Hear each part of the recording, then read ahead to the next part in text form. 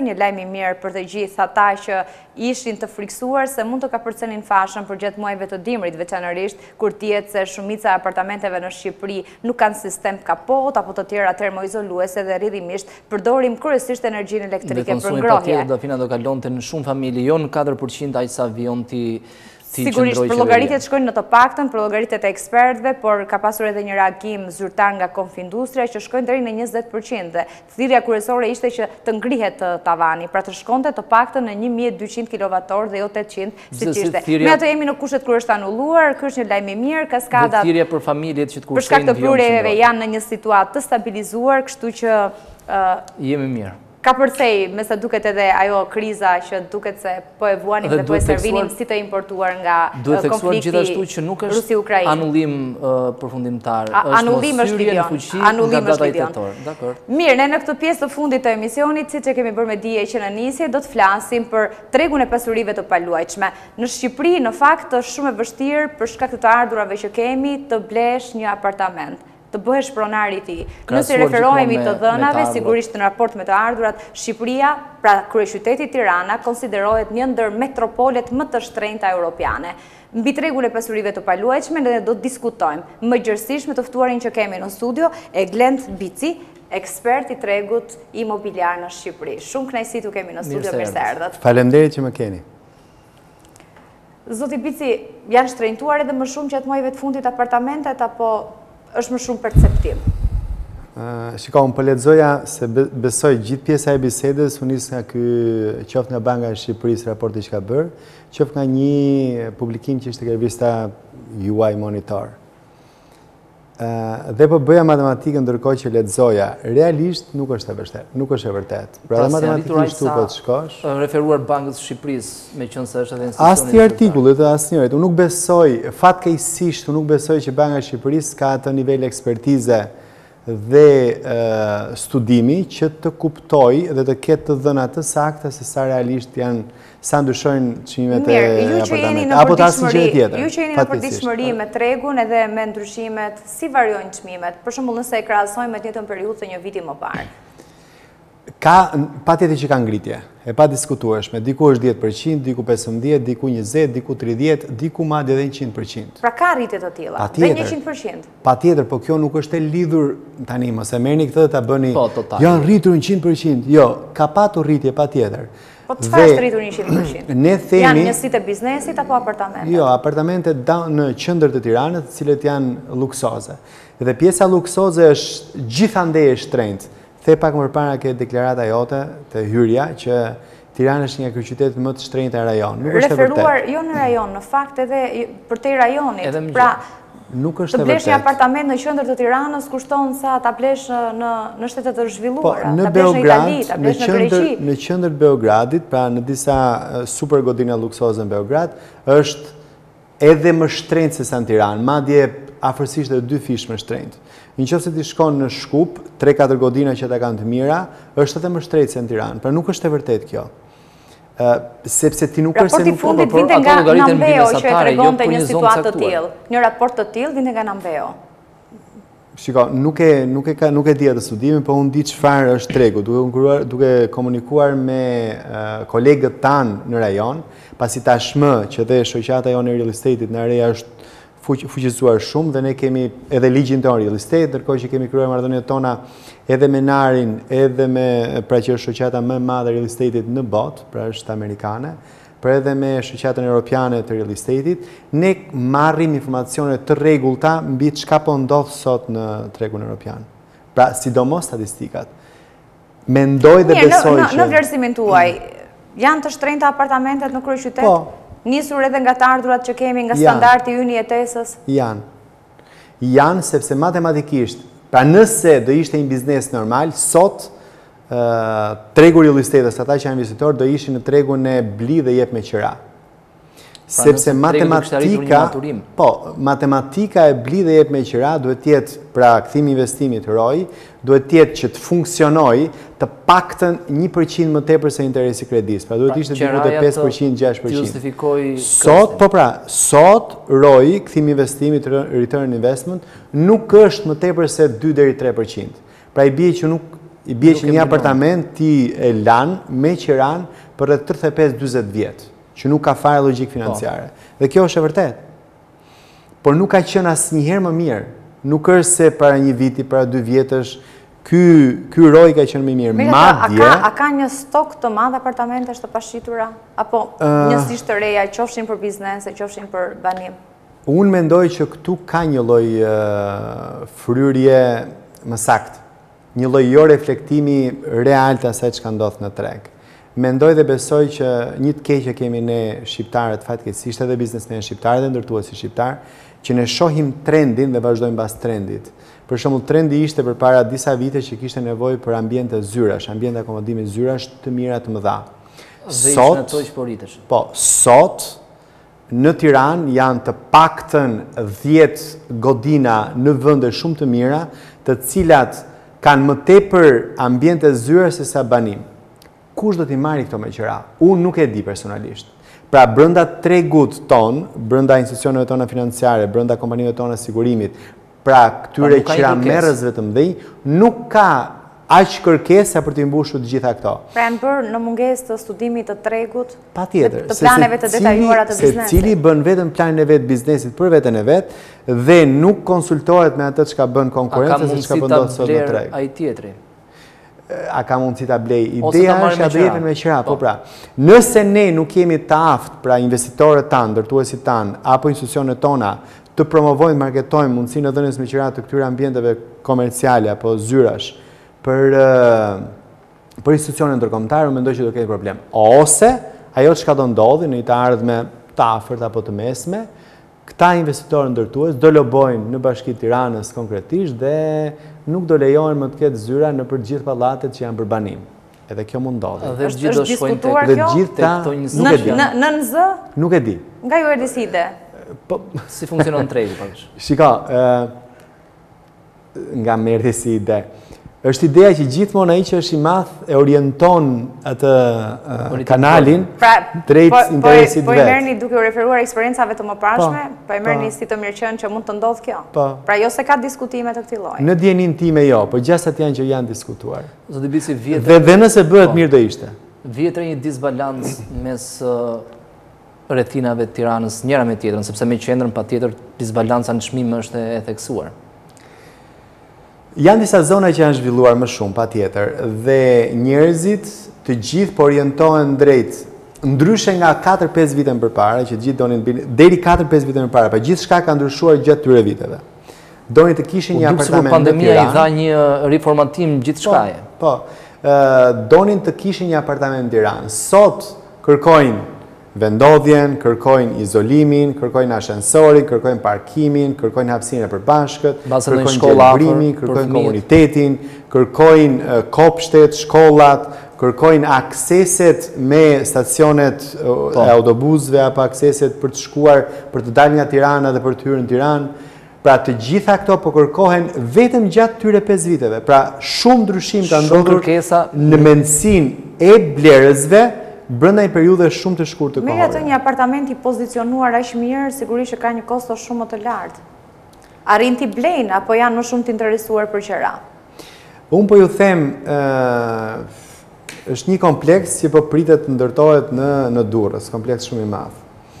Dhe i sot në mëngjes po diskutoja me një mikun tim dhe po më thoshte që ka interes pa fund nga investitorë të huaj për të blerë atje ku ende ai kompleks nuk ka dalë në shitje.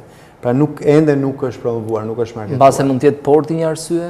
Dhe zhvillimi që do të japë? Mbase, unë nuk e di, por e rëndësishme është që ka kërkesa, pra, dhe kjo është ajo çka ne duhet të bëjmë, pra të marrim kërkesa nga të huajt, pra kërkesa nga Italia, nga Polonia, nga Çekia, nga Holanda. Në fakt nga një kontakt që kam pasur me agjentë imobiliarë që operojnë në zonën e bregdetit, Golemi gjatë viteve të fundit ka qenë shumë i kërkuar nga turistë të huaj për të pasur një shtëpi pushimi edhe çekë. Edhe çekë patjetër. Përgjatë vitit të fundit veçanërisht.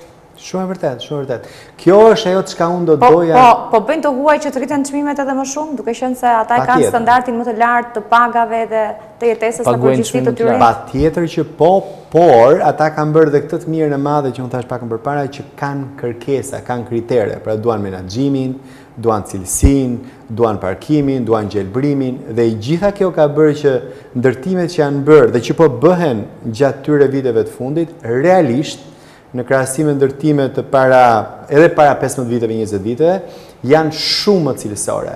Edhe në eficiencën e energjisë, si ne folëm pak më parë se dëgjuam kryeministrin që e hoqi fashën. Anulloi po. Pa edhe në atë kontekst, apartamentet e reja kanë eficiencën e energjisë 45%.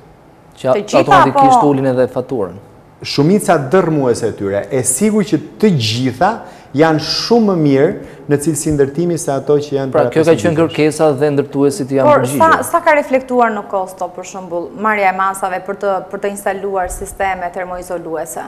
Unë të them eksperiencën time personale, pra ne po presim të marrim një shesh ndërtimi dhe vjet në këtë kohë që ishim duke bërë negociatat, Nga vjet deri sivjet, kostot tona që ne parashikonim të kishim dhe parashikojmë të kemi tani, janë rritur të paktën dyzet për qind. Pra kostot e ndërtimit, për materialet e ndërtimit. Dhe kjo është për materiale që xha përdoreshin përpara një viti. Për materiale, materiale të reja që do përdorësh për një cilësi ekstra, patjetër që kanë kosto ekstra. Dhe e gjitha kjo reflektohet në çmimin përfundimtar, që është çmimi të cilin e blen blerësi i fundit apo qytetari apo investitori. Te çmimi përfundimtar mund të ketë ndikuar edhe zhvlerësimi i euros në mënyrë drastike në raport me lekun dhe automatikisht një pjesë e mirë e mallrave janë importi. Shiko, ka ndikuar edhe nuk ka ndikuar. Kjo lëvizja e monedhës ka ndodhur, ka përndodhur. Sepse një vit më parë ka qenë 127, 125, sot e 116. Që ka një zhvlerësim të euros, po vazhdojnë të shiten në euro, apo i kanë kthyer në lek tani? Se nuk të del më llogaria. Shiko, në Shqipëri janë shitur në euro që këtu e përpara 15-20 po. vitesh.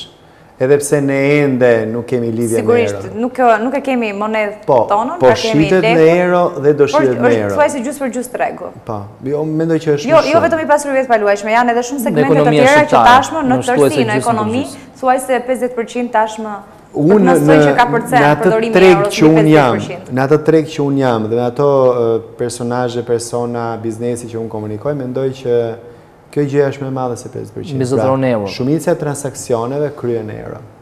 Po, në momentin kur zhvlerësohet euro, vazhdon e njëjta linjë? Apo ka një prirje? Çfarë do të thotë zhvlerësimi i euros? Se është, pra ti blije një diçka në euro, ta blesh përsëri në euro. Po, por... Ajo çka ka ndodhur në ekonominë globale, dhe jo vetëm në Shqipëri, është që është zhvlerësuar paraja në përgjithësi, vlera e parasë. Po, dakord, inflacioni është në këtë rast, jo por... Jo inflacioni, përgjithësi i parave.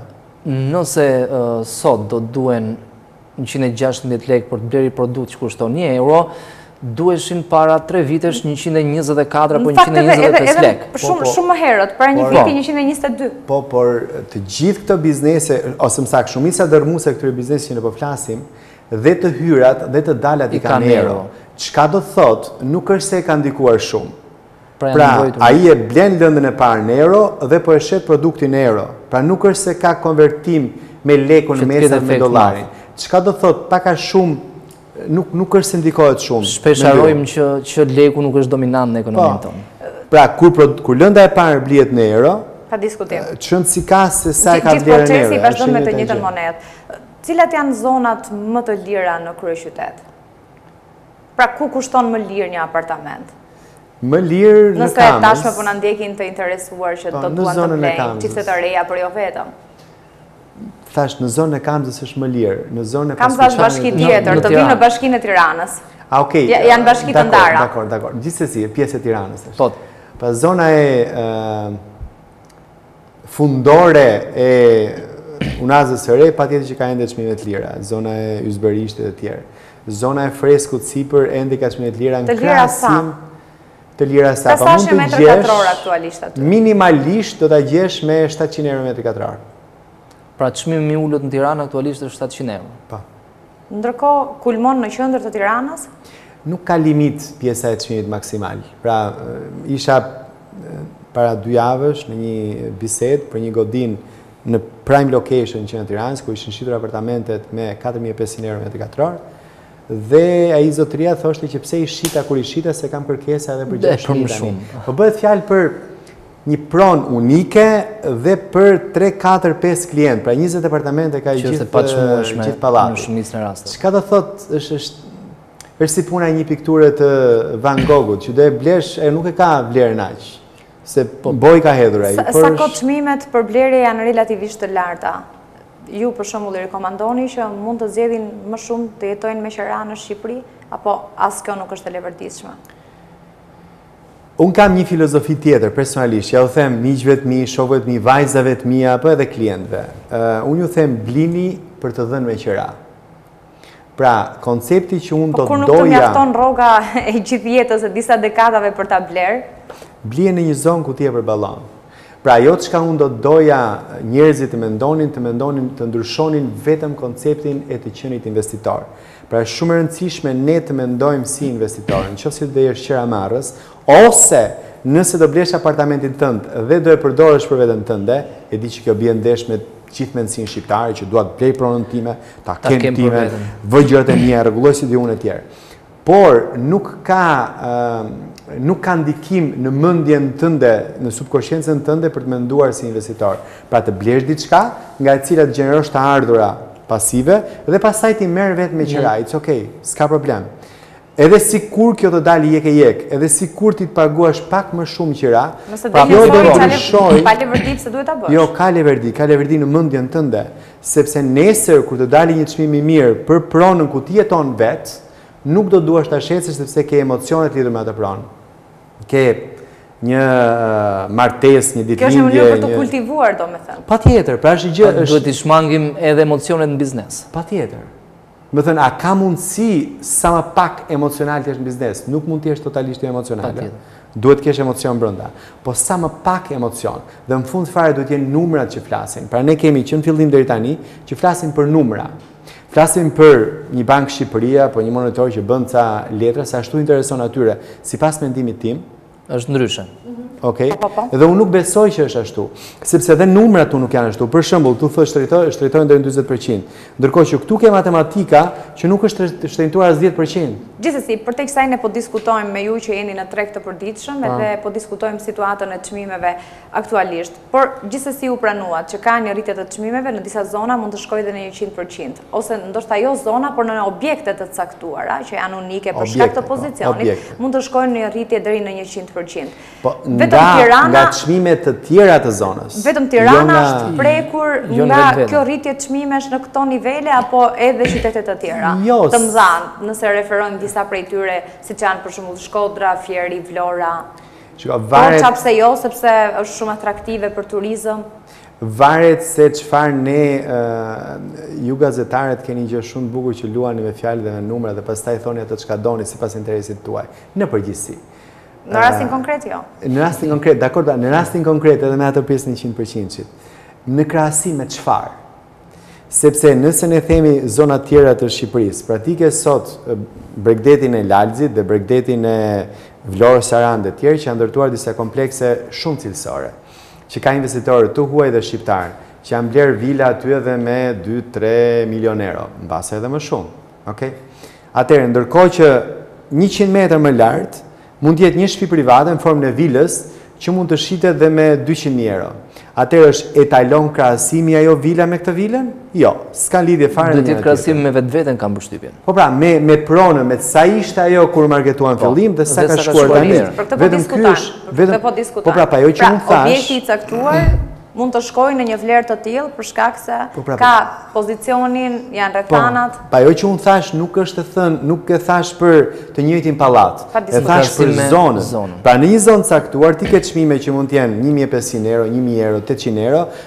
Ndërkohë që ke dhe çmime të tjera që janë një mijë e gjashtëqind, një mijë e shtatëqind edhe dy mijë. Tek e njëjta zonë, por jo tek i njëjti pallat. Sigurisht. Ishte shumë e qartë. Për t'u rikthyer edhe një herë tek ideja e blerjes apo qeras, edhe për të edukuar aq sa mundemi edhe qytetarët që na dëgjojnë. Ë pavarësisht se kësti qeraja mujore nuk e mbulon këstin e kredisë në rastet kur ne i drejtohemi bankës për të marrë një kredi për të blerë një banesë. Sërish duhet të ngulmojmë te kjo pikë? Unë e thashë se si, pra të mend të blesh për të investuar, sepse historikisht, pra në qoftë se merr që kur ka tregu, jo tregu ynë, por tregu po, global i pasurive të paluajtshme, që në vitet 1900, po themi, kurba, në qoftë se studion historinë dhe unë besoj tek numrat dhe historia. Shifrat gjithmonë kanë drejtë, sidomos nëse referohet pra, në të dhëna historike. Pra, ecën ka një rënie, ecën ka një rënie, ecën ka një rënie. Por totali është gjithmonë në rritje. Por është gjithmonë në rritje. Çfarë çfarë do thotë? Çfarëdo lloj gjëje që blen sot, gjasat janë shumë të mëdha që për 10 vite do ketë rritje dhe të çmimit. Ndërkohë që nëse ti e jep me qira atë pronë dhe rri vetë me qira, atëherë ti do ndryshosh mënyrën se si mendon për pronën dhe nesër nëse vjen një ofertë e mirë që mund të jetë 30% më mirë, ti e shet dhe blen përsëri për ta dhënë. Ke edhe të ardhurat e qirasë që i ke marrë çdo muaj. një vlerë sërish e shtuar. Ndërkohë sërish, po, Dafina, ndalemi te qytetet e mëdha, ka, paktën ato që kanë një atraksion turistik të shtuar gjatë viteve të fundit? Ka pasur ndërtime të reja dhe si janë çmimet aktualisht? Jo vetëm që ka patur, por edhe ka në të gjitha qytetet e mëdha. Kjo edhe, me thënë të drejtën, ajo çka ka ndodhur gjatë këtyre viteve të fundit, shumica e qyteteve të mëdha janë rregulluar qendrat e qyteteve, janë sistemuar, janë organizuar etj. Dhe kjo ka pas sjellë në mënyrë indirekte që në këto zona ku ka hapësira të përbashkëta, ka lulishte, ka gjelbrim, ka një lloj energjie ndryshe. I ka rritur vlerën pronave ekzistuese. Absolutisht po. Në të gjitha qytetet, pa përjashtim. Tani, se sa ja ka rritur, kjo varet përsëri dhe nga cilësia e pronës, po në parim gjithandej ja ka rritur. Dhe në parim ajo çka po ndodh sot, jo vetëm në Shqipëri, por në mbarë botën, po ndodh kjo pjesa e globalizimit, të themi, po ndodh që njerëzit vinë dhe duan të jetojnë në qytete të mëdha sepse kanë shumë oportunitete. Ajo çka po ndodh sot në Tiranë të paktën, apo në Durrës apo në qytete të mëdha është që ti ke shumë të huaj që vijnë të jetojnë këtu dhe me afate mbase jo të gjata, por me afate 6 mujore, 1 vit e tjerë. Dhe ky përsëritet. Dhe pjesa më e madhe e tyre vijnë të jetojnë me qira afatgjata. Po. Po ato që kanë 6 muaj do të thotë që janë pensionistë, sepse jo, zakonisht 6 muaj pushime... Shumë janë rastet edhe ata që punojnë dhe udhëtojnë, punojnë në distancë. Gjatë pandemisë është punuar jo, jo, online, por për gjithë se periuda. Unë isha në një takim me me disa të huaj përpara tre javë diçka e tillë, që s'më kujtohet se si e kishte emrin grupi, Po ishte një grup të cilët ishin shumica të huaj që kishin ardhur të jetonin në Shqipëri për një periudhë të pacaktuar, pra nuk ishin emigrantë. Edhe unë kam pasur raste të njëjta. Dhe ajo çka të gjithë ata ishin me qira nëpër pronat ku jetonin dhe biseda ishte që ata po diskutonin se çfarë ne të bëjmë që të investojmë në Shqipëri. Pra të lidhemi financiarisht me Shqipërinë. Janë shumë apo këto janë raste sporadike?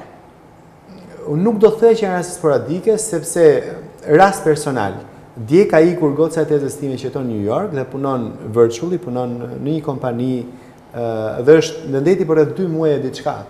E vjet ka ndejt për rreth 3 muaj, ku vazhdonte punën e saj, po punonte nga ora 3 mbasdite, ku i bie në New York të ishte ora 9, deri në 11 të natës, 11 e gjysëm të natës. Dhe punonte nga shtëpia e vet që kishte, me laptopin me vete, me telefonata dhe vazhdonte bënte punën sikur të ishte atje. Por ky ky është bërë trend gjithandej. Pra, sot Google-i, Facebook-u, ë platformat e mëdha, Microsoft-i, më tepër se gjysmën e stafit nuk e kanë në zyrat e tyre.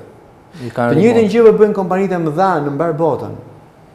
Jo më larg se pardje pata një telefonatë nga një miku im që një kompani e huaj do të vijë në Tiranë me idenë për të marrë 2000 deri 4000 metra katrorë ambiente me qira ose në bashkëpunim me një investitor me idenë për të shfrytëzuar vetëm për këta digital nomads, për këta personat mm. që punojnë për kompani të mëdha dhe duan të kenë hapësirën e tyre dhe do paguajnë për një vend spot pune, paguajnë 100 euro, 150 euro. Ku i ka të gjitha? Dhe i ka të gjitha të përfshira, ka dhomën e takimit, ka internetin, ka energjinë elektrike, ka printimin atje, ka atë network-un e njerëzve që mendojnë dhe besojnë si ata. Pra, kjo po ndryshon. Çka do të thotë? E duke qenë që ne kemi klimën të mirë, kemi po, pozicionin gjeografik të përshtatshëm, po përfitojmë. Dhe këtu duhet menduar për të investuar për këtë target group. Një arsye tjetër për këta, për nomadët digital, Janë vendet karakteristike si Shqipëria, sepse çmimet janë të ulëta dhe ata kanë paga të larta. Pra, marrin paga si në Amerikë apo në çdo vend të zhvilluar, por çmimet i paguajnë si si në Shqipëri. Shumëfish më të lira. Jo vetëm, ushqimi është i mrekullueshëm. Patjetër. Pra në qoftë se krahason dhe ushqimi është pjesë e kënaqësisë jetës, ë? Në qoftë se krahason çmimet ta me atje ku jetojnë, Patjetër, çmimet janë të paktën pesë herë ose dhjetë herë më të larta atje, por cilësia është shumë e keqe. Domethënë, nëse vazhdojmë me këto ritme, shqiptarët do ta kenë edhe më të vështirë të tentojnë edhe të arrijnë të blejnë një shtëpi. Nëse do kemi një mësymje nga të huajt që kanë një standard më të lartë. Ata nuk kanë qëllimin e tyre për të ardhur dhe për të blerë. Ok? Qëllimi i tyre është për të ardhur për të shijuar botën, për të shijuar jetën, për të udhëtuar gjithandej. Do vijë gjashtë muaj në Shqipëri, gjashtë muaj do shkojë në Shkup, gjashtë muaj do shkojë në Malajzi, gjashtë muaj do shkojë në Tokio, ku t'i dojë kokrra e qejfit, sepse ka mundësi financiare për ta bërë dhe ka mundësi për të punuar nga nga laptopi, nga laptopi. Kryesisht këta zoti Bici zgjedhin platformat online siç është Airbnb apo Booking, Apo funksionojnë edhe me me agjencitë? Edhe me agjencitë patjetër, por duhet të kuptojmë edhe pjesën e matematikës. Pra, një agjent e ka apo një pronar e ka shumë të vështirë të bashkëpunojë me një agjent sepse duhet t'i japë edhe komisionin atij, ndërkohë që platformat Po edhe Airbnb për shembull nuk është se të toleron shumë. Patjetër, po e ka shumë më të ulët dhe ti po, e ke po, proporcionale. Pra është më kollaj, është më lehtë që të paguash pak para vazhdimisht, sesa të paguash shumë para njëkohësisht, në të njëjtën kohë. Domethënë a i qëndrojnë gjithmonë shqiptarët këtyre marrëveshjeve, këtyre prenotimeve që bëhen përmes platformave? Për shembull përgjatë verës ne kemi pasur shumë raste denoncime nga pushuesit që U është bërë me dije që ka pasur një ngatërresë në lokal, në hotel, tek stafi, nuk është bërë sistemimi, nuk është bërë akordimi dhe rrjedhimisht edhe pse ishte bërë prenotimi dhe konfirmuar, në fakt, nuk kanë qënë të pakta ato që janë kthyer. Kjo nuk është pjesë e fushës së ekspertizës time dhe mendimin tim. Duhet të kuptojmë që... Vjen nga përfaqësues të shoqatave po, të biznesit si informacion. Shumica prej tyre funksionojnë me platforma të ndryshme. Çka do thotë, Mund të mos jenë të përditësuara në kohë reale, sepse dalëngadalë do të shkojnë drejt përdorimit të teknologjisë për platforma të cilat i përfshijnë të gjitha, me Booking, me Airbnb, me këtë Expedia etj etj të jenë brenda një platforme. Po kjo ka kosto. Dhe këto bizneset e vegjël, sidomos bujtinat apo këto hotelet e vogla, nuk e kanë këtë mundësi financiare për të patur këtë akses, dhe kjo është mundësi biznesi për ata specialistët tanë për të bërë platforma të tilla dhe për t'i promovuar. Unë mendoj që këto gjëra ndodhin gjithandej. Mua më ka ndodhur në vende pra super të organizuara pjesë e kësaj ngatërresës. Dhe nuk të prenotojnë, nuk t'japin atë Probleme sistemi. Unë kam dhe një pyetje të fundit, ka një rritje të ndjeshme të remitancave në 6 muajt e parë të vitit. Sa të lidhur janë emigrantët me tregun imobiliar? Apo remitancat kanë shkuar kryesisht për përballimin e jetesës së të afërmve të tyre që i kanë në Shqipëri? Unë mendoj që për këtë pjesën e, për këtë gjashtëmuajshin e fundit paktën, mendoj që është kjo e dyta më shumë se sa e para, sepse ato remitanca që vijnë për të investuar në tregun real estate, nuk i di Banka e Shqipërisë, fatkeqësisht. Faleminderit që ishit me ne.